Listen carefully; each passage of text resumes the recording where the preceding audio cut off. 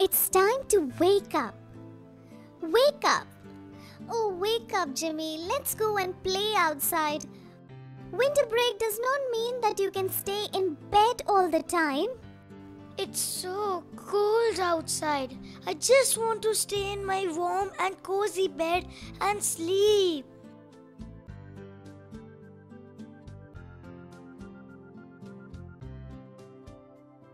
Oh, it's so cold outside. I wonder what do the animals do to protect themselves from this harsh winter?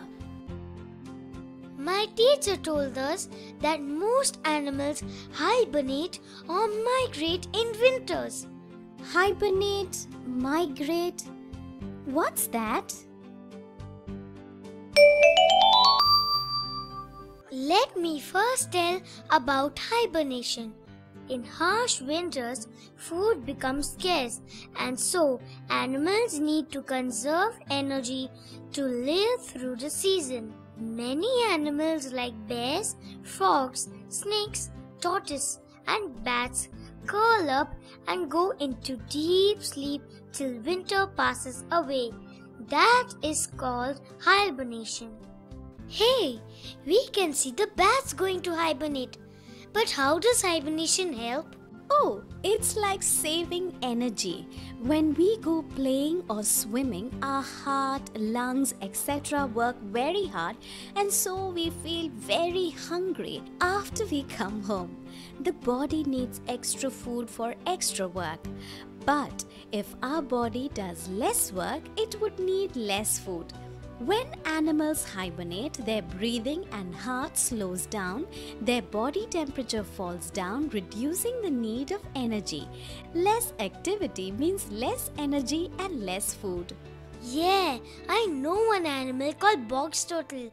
It can stop breathing completely. Instead, it absorbs oxygen through its skin, so less work by lungs. But I wonder how long they keep on sleeping like this. All through the winters, you know, the marmot and the polar bear can hibernate for up to 8 months every year. Their body has a natural alarm clock. When the spring sets in, the alarm will go off.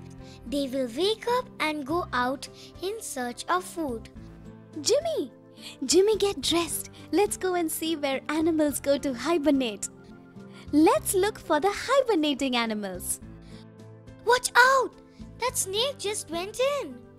Whoa! It has gone so deep under the ground.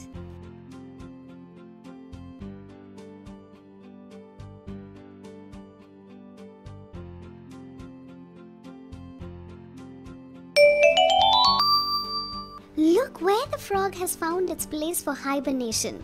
Fish and frogs have buried themselves partly deep under the water to hibernate.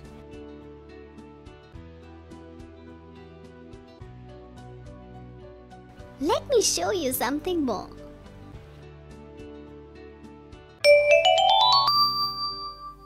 That huge bear is sleeping so soundly.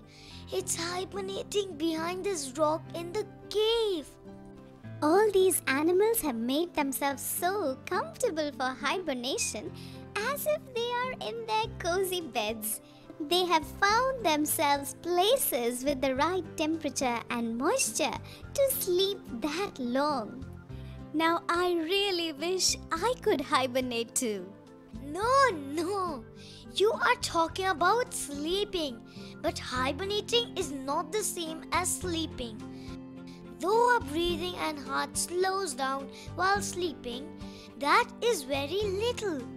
During hibernation, heart and breathing slow down a lot. In hibernation, the mind is not as relaxed as it does while sleeping. It's as if someone has forced us to lie down for a long time with eyes closed and nothing to do. And though we are lying down, we get tired. Imagine you need to sleep because you are tired of sleeping. Uh, hibernating.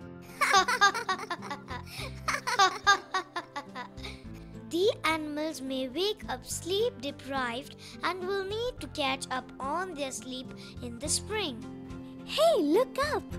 See those birds? They are flying in a pattern. These birds look like geese. Where are they all going? They may be going in search of food. Why are they not hibernating? They too must be feeling cold. Few of the animals don't hibernate. They go to warmer places to save themselves from cold and to find food. When it gets very cold in the north, the birds just fly away to warmer places down south where they will be able to survive. This is called migration. Oh, then migration is very smart. They don't feel cold and they also get food in warmer places. But how do they know the right direction? I wonder if they too have a compass like mine to check the directions. We had learned to find direction by using the sun or stars during our camping trip. The birds use the position of the sun as a compass. Oh, that's wonderful. Yeah, my teacher told me the same.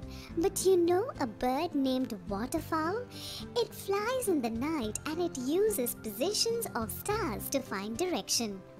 And few of the birds will also remember the way from their trip last year. You are right. Elephants also migrate by remembering the way. Oldest female elephant remembers fixed landmarks such as rivers and mountain ranges to lead the other members of the herd to food, water, and safety. There are many other animals who migrate, but right now, let's migrate home. It's getting late now.